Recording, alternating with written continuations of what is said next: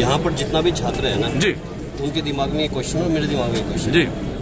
As you said that मैं इसको link करना चाहूँगा जो हमारे नेता हैं बॉबी पवार जी के respect ji. There is a way to counter attack it yes against absolutely yes ताकि आगे के लिए लोगों It's को इसमें uh, पकड़ लिया और लगा दो बाद में मैं भी फंस सकता हूँ. लड़कों की टीम बैठी हुई है धरने पे वो ये है और यहाँ पर आप भी सपोर्ट और शेयर करें इसको ज़्यादा से ज़्यादा।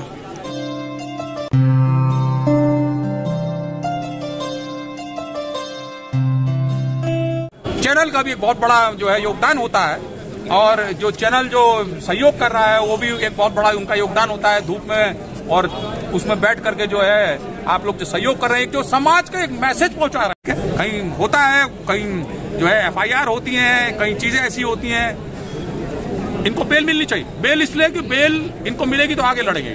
ठीक है? तो बेल मिलनी ज़रूरी है इनको। और बेल मिले और शांतिपूर्ण तरीके से लड़े तो अपना पक्ष रखें तो सर एक रिपीटेड क्वेश्चन हो सकता प्लीज़ यहाँ पर जितना भी छात्र है ना जी। उनके दिमाग में ये क्वेश्चन और मेरे दिमाग में question ji. As you said that in the law अगर कोई पुलिस वाला है जिसके जिसने जो है कल्पिट का अगेंस्ट कुछ गलत गलत चार्जेस फ्रेम कर दिए। जी। और मैं इसको लिंक करना चाहूँगा जो हमारे नेता हैं बॉबी पवार जी के रेस्पेक्ट में जी।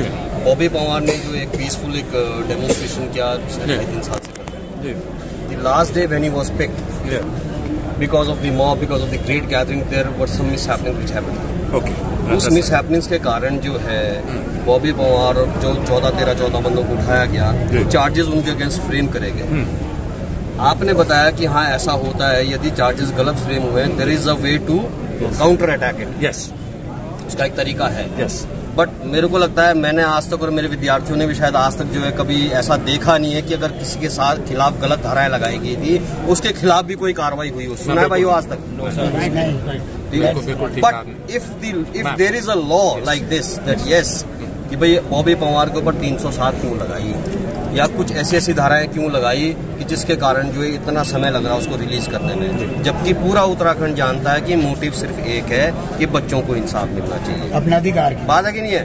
तो सर। जब ऐसा हुआ है तो अगर कुछ गलत चार्जेस के अगेंस्ट अगेंस्ट फ्रेम हुए हैं और जो क्लॉज आपने बताया उस क्लॉज में भी यदि हम आगे जाते हैं तो जो वो basically on the seat people वो sitting on that seat and who did this will there be action.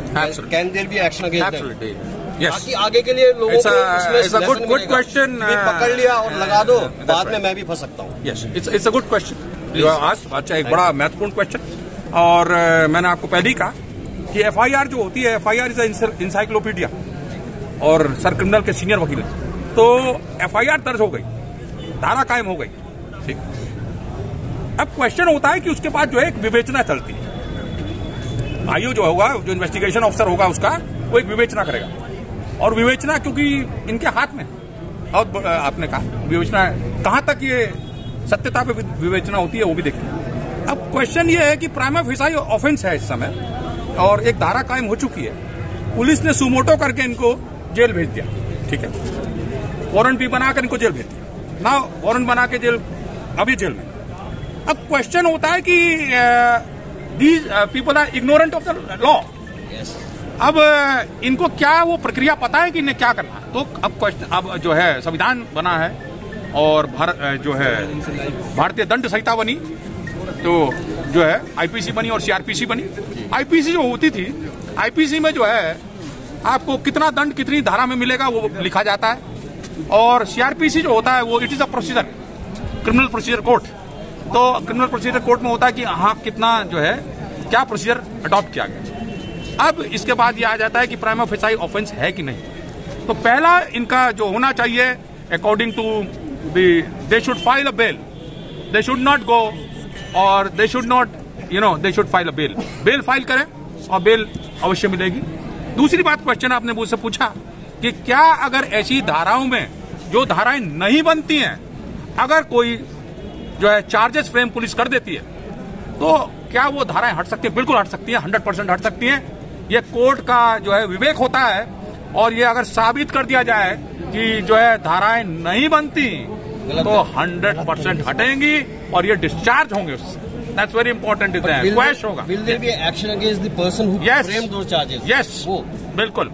और जिस व्यक्ति ने वो चार्ज फ्रेम किया है उसके बाद आप डेफोमेशन पे जा सकते हैं और उनके खिलाफ कार्रवाई कर सकते हैं। कि मानहानि का केस मानहानि भी हो सकती है सेक्शन 500 है तो उसमें आप जा सकते हैं you can go and you can file that ऐसा नहीं है। कानून जो है एक बड़ा लंबा है बड़ा समुद्र है और किस्मत से मैं यहाँ पर था और ये भी भाग्य था। तो होता है कि ईश्वर जो है कभी कभी बुला लेता है मैं कल ही पहुँचा हूँ पुलिस अगर किसी की इज़्ज़त करती है तो लॉयर्स की इज़्ज़त करती है मैं मैं मैं वकील भी रहा हूँ मैं वकील भी रहा हूँ मैं आपके सभी लोगों का वकील भी रहा हूँ ऐसा नहीं। बट क्वेश्चन ये है कि आम जनता जो है, आम जनता के पास लड़ने के, इनके पास लड़ने के लिए क्या है? इनको जो है अच्छा वकील करना चाहिए और वो वहाँ तक इनको ले जाए और वहाँ तक, क्योंकि देखिए, कानून की जीत सबसे बड़ी जीत है। अगर ये कानून से जीत गए तो उससे बड़ी जीत कोई नहीं होगी उससे बड़ी जीत तो वो सबसे बड़ी जीत है, वो फाइनल फतेह है। ठीक है? फाइनल जीत है वो। तो वहाँ तो लड़ना आपने है ही। You should not you know I mean कानून बना इसीलिए। अगर हम ठीक है स्ट्राइक कर रहे हैं बहुत वो है वो स्ट्राइक से वो समाधान नहीं होगा जो समाधान कानून से होगा। कानून समाधान करेगा इसका। ठीक है ना? ये अपना अपना विम है अपना अपना जो है वो है। कानून इसका समाधान करेगा कानून को बताना आपको पड़ेगा। कि ऐसा ऐसा मामला था और ये मामला हुआ है और ऐसी संगीन धाराओं पर मुकदमा कायम है और ये धाराएँ नहीं बनती। अगर कानून के सामने वकील ने साबित कर दिया तो आपकी धाराएँ हटेंगी। ये मेरा thank you sir thank you so much thank you pleasure दोस्तों, मैं आज पहुँच चुका हूँ जो मेन जहाँ पे धरना चल रहा था और शहीद पार्क। ये है दोस्तों, शहीद स्मारक पार्क जहाँ पे उत्तराखंड जब बना था, उस समय उन्होंने अपने अपना बलिदान दिया था, सर्वोच्च बलिदान दिया था। वही पार्क है और यहाँ से आप लाइव देख सकते हो। जो लड़कों की टीम बैठी हुई है धरने पे, वो ये है। और यहाँ पर आप भी सपोर्ट और शेयर करें इसको ज़्यादा से ज़्यादा, दोस्तों। और मांग बस एक ही है सीबीआई जाँच।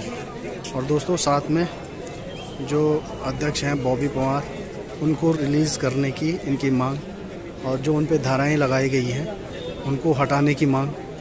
और वो धाराएँ बिल्कुल बेबुनियाद हैं। मतलब बॉबी पवार जी यहाँ बैठे हुए थे, उनका तो उसमें कोई रोल भी नहीं था। जो कि घंटा घर में हुआ था। और उन्होंने बेबुनियाद मतलब धाराएँ लगा दी उसमें उन पर तो ये आप देख सकते हो।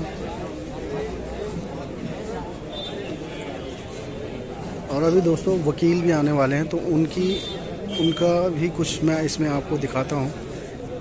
उनको भी आप सुनिए कि वो क्या कहते हैं इस मामले में।